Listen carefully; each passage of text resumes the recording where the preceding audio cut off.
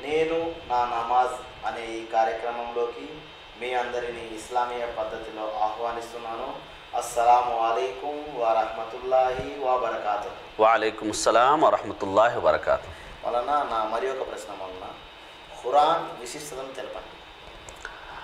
ఖురాన్ విశిష్టతను తెలపండి. సోదరుల యొక్క ప్రశ్న. అల్లాహ్ సుబానహుతాల ఖురాన్లో సెలవిచ్చిన మాట అౌదు బిల్లాహ్ మిన షైతాన్ అజీం రహమాన్ రహీం.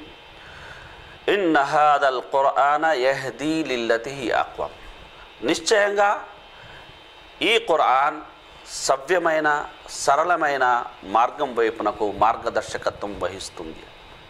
అల్లాహ్ సుబానవతల సమస్త మానవాళి వైపునకు అవతరింపజేసిన యొక్క అంతిమ దైవ గ్రంథం ఖురాన్ కనుక మహనీయ మహమ్మద్ సలల్లాహు అలీ వసల్లం వారి ఆవిర్భావం అనంతరం ఖురాన్ అవతరణ అనంతరం ప్రళయం వరకు వచ్చేవారు.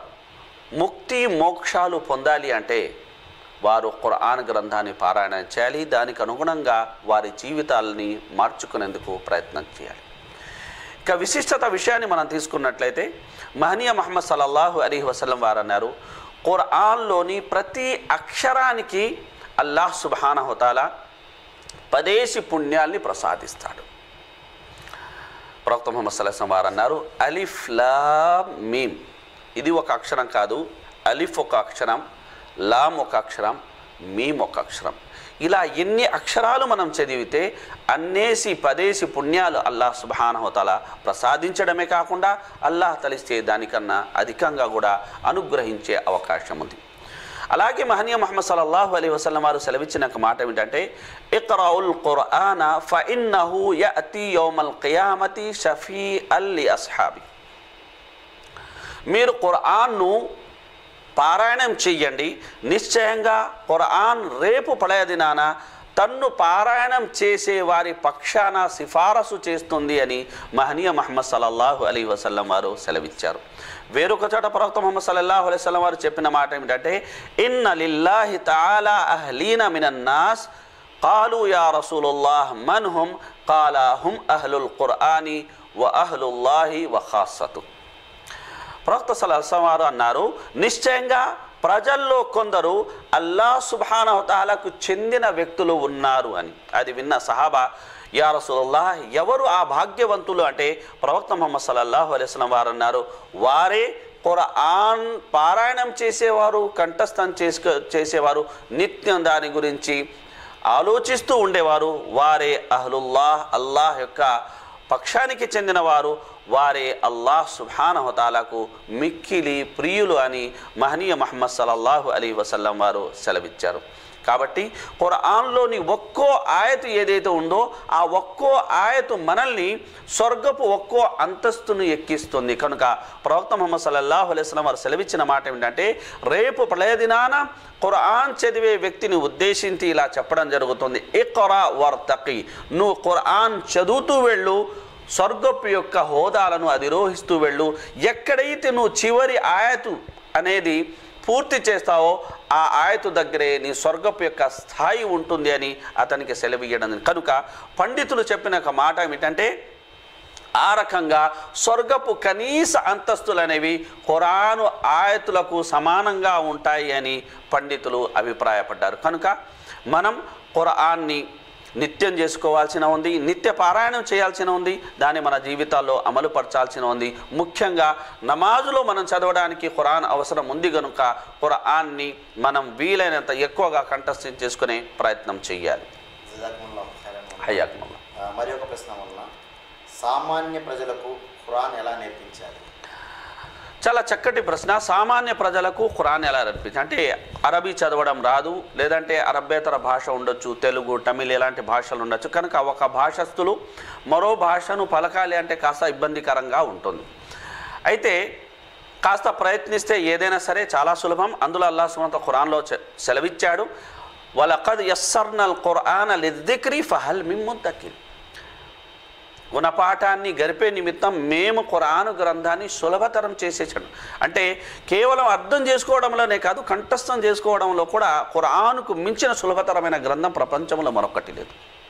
కనుక అల్హమ్దుల్లా ఒక్క అక్షరం ముక్క కూడా అర్థం కాని పసిబాలుడు మనది ఏడు ఎనిమిది సంవత్సరాల ఒక బాలుడు కొన్ని కొన్ని చోట్ల అనేది ఐదు ఆరు సంవత్సరాల బాలుడిని కూడా మనం తీసుకున్నట్లయితే మొత్తం ఖురాన్ని కంఠస్థం చేసుకుంటాడు. అంతటి మహిమాన్విత గ్రంథం ఖురాన్ గనక కాసింత ప్రయత్నించినట్లయితే ఎవరైనా ఖురాన్ని కంఠస్థం చేసుకోవచ్చు. ఇక సామాన్య ప్రజల విషయానికి వచ్చినట్లయితే మనకు బజార్లలో ఏమిటంటే ఆయా భాషల్లో ఖురాన్ యొక్క సూరాలు వాళ్ళు ముద్రించి పంచుతున్నారు. ఈ సూరాల పుస్తకాల్ని తీసుకొని చాలామంది ఆ పుస్తకాలకి పరిమితం అయిపోతున్నారు. పండితుల్ని సంప్రదించడం లేదు. ఏది తప్పు ఏది ఒప్పు అనేది అడగడం లేదు. అలానే జీవితాలు గడిచిపోతున్నాయి. పంజుసూరా పేరుతో కానీ లేదంటే ఇతరత్ర పేర్లతో కానీ అలానే జీవితాలు గడిపేస్తున్నాయి కొన్ని కొన్ని పల్లెటూళ్ళలో మనం వెళ్ళి చూసినట్లయితే అవే వాళ్ళకు ఆధారాలు. అక్కడ చెప్పే వ్యక్తులే లేరు. మరి ఇది సరైన విధానమా? కాదు. ఖురాన్ అల్లాహ్ సుబానహతాల గ్రంథం అల్లాహ్ వాక్యం అల్లాహ్ గ్రంథాన్ని అల్లాహ్ సుబానహతాల జిబ్రీల్ అలీ ఇస్లాం వారి ద్వారా ప్రవక్త మొహమ్మద్ సల్లాహం వారి మీద ఎలా అవతరించాడో అలా అవతరింపజేశాడో అదేలాగు మనము పారాయణం చెయ్యాలి. దీనికి సులువైన మార్గం ఏమిటంటే ఖురాన్ పారాయణకర్త కానీ ఖురాన్ని కంఠస్థం చేసుకున్న వ్యక్తి కానీ లేదంటే ఒక మసీదుకి సంబంధించిన ఇమాము కానీ లేక బాగా నేర్చుకున్న వ్యక్తి కానీ నేర్పించే వ్యక్తుల్ని ముందు చదివి వినిపించాలి సూరాలు. ఒకటి రెండు సార్లు చదివి వినిపించాలి. ఆ తర్వాత ఒక్కో ఆయతు చొప్పున వారితో మళ్ళీ అనేది చాలా సొంతంగా చదివించాలి. ఆ తర్వాత దాన్ని ప్రాక్టీస్ చేయమని చెప్పాలి.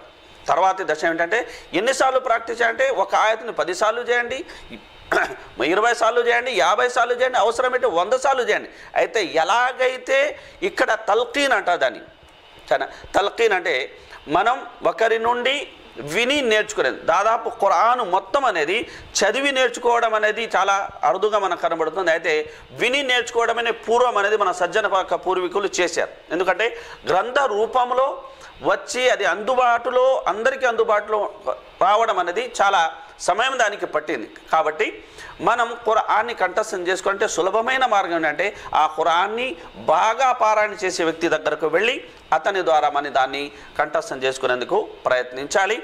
కనుక అలా మనం కంఠస్థం చేసుకున్న దాన్ని మళ్ళీ మనం ఆ యొక్క పండితుని ముందర చెప్పాలి. చెప్పినట్టు ఆ పండితుడు ఏం చేశారంటే అక్కడ ఏదైతే మనం విన్నప్పుడు కరెక్ట్గా చెప్పాం కంఠస్థం చేసుకుంటూ మళ్ళీ కొన్ని యొక్క తప్పులు ఉంటాయి. ఆ తప్పుల్ని అతను సరిదిద్ది మనకు కరెక్ట్గా ఖురాన్ అనేది నేర్పించే అవకాశం ఉంది. అన్యదా జరుగుతుంది ఏమిటంటే ఒకసారి తప్పులతోటి మనం ఖురాన్ని కంఠస్థం చేసుకుంటే ఆ తప్పుల్నే జీవితాంతం కంటిన్యూ చేస్తాం. కనుక ఈ విధానాన్ని మనం అవలంబించినట్లయితే ఒక గురువుని మనం కనుక ఏర్పరచుకున్నట్లయితే మనము ఎటువంటి యొక్క లోపాలు లేకుండా తప్పులు లేకుండా ఖురాన్ని చదవడం కంఠస్థం చేసుకోవడం అనేది రెండు మనం చేసుకునే అవకాశం ఉంది. మరికొన్ని ప్రశ్నలతో మళ్ళీ కలుద్దాం. వరహమతుల్లాహి